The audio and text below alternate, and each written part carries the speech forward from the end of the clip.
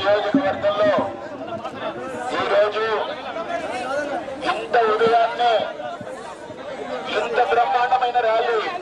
బహుశా తెలంగాణలో మిగతా రెండు పార్టీలకి పట్టపగలైన సాయంత్రం అయినా కూడా కనబడేటువంటి పరిస్థితి యువత ఎక్కడా లేరు. ఓన్లీ శివాజీ చౌక్ దగ్గర కనబడుతున్నారు. ఈసారి నిజామాబాద్ జరిగే ఎన్నికల ఎన్నికల్లో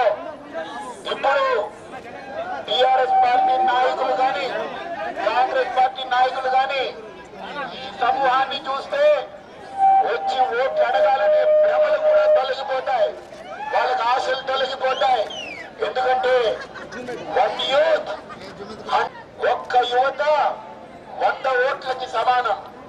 ఒక్క యువకుడు కాని ఒక్క యువతి కాని నిలబడితే అక్కడ వంద ఓట్లు పడాల్సిందే.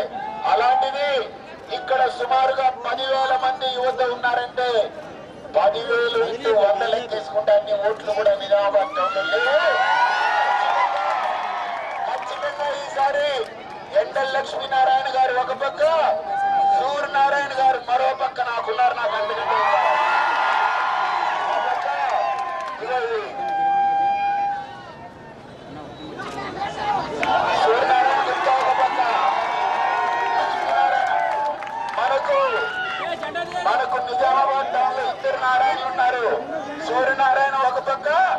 లక్ష్మీనారాయణ ఒక పక్క హైదరాబాద్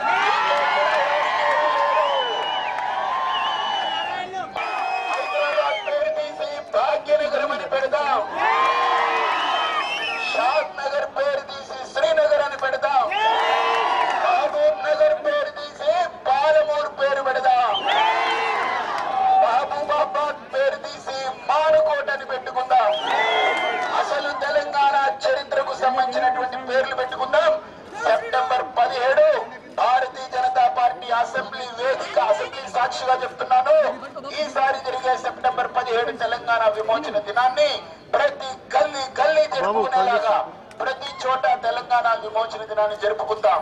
అంతేకాదు ఈ నిజామాబాద్కి సంబంధించినటువంటి అభివృద్ధి కార్యక్రమాల్లో ఈసారి ఎండల లక్ష్మీనారాయణ గెలుపొందిన తర్వాత ఖచ్చితంగా భారతీయ జనతా పార్టీ తరఫున మీ పరిపూర్ణానందగా నేను బాధ్యతలు తీసుకుంటాను. నేను ఇక్కడికి వస్తాను. ఇక్కడ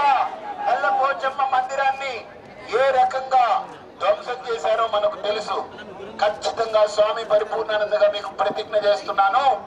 ఒక పెద్ద ఉత్సవం జరిపి ఆ దేవాలయాన్ని పది లక్షలైనా ఇరవై లక్షలైనా ఖర్చు పెట్టించి నల్ల పోచమ్మ దేవాలయాన్ని కట్టి దాని ప్రారంభోత్సవానికి నేను తప్పకుండా మీ అందరితో కలిసి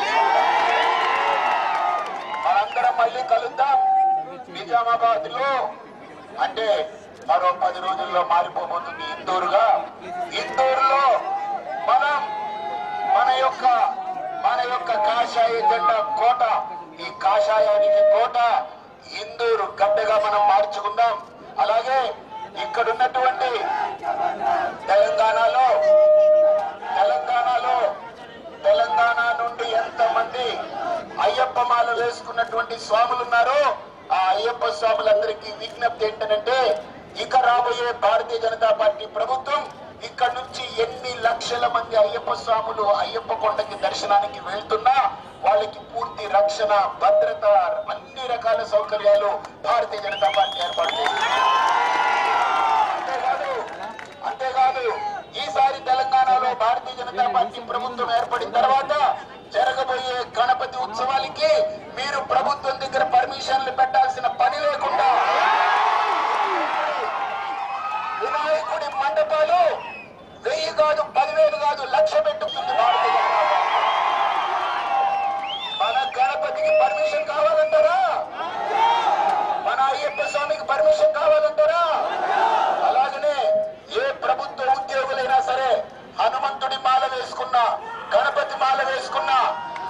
మాల వేసుకున్నా ఆ మాల తీయక్కర్లేదు పొట్టు చెరపక్కర్లేకుండా ఇంకా పెద్ద పొట్టు పెద్ద మాలలు వేసుకుని ఆఫీసుకు వెళ్ళేలాగా కాపాడుకుంటుంది. కాబట్టి భారతీయ జనతా పార్టీని గెలిపించండి ధర్మాన్ని గెలిపించండి ఈ దేశాన్ని కాపాడుకుందాం. భారత్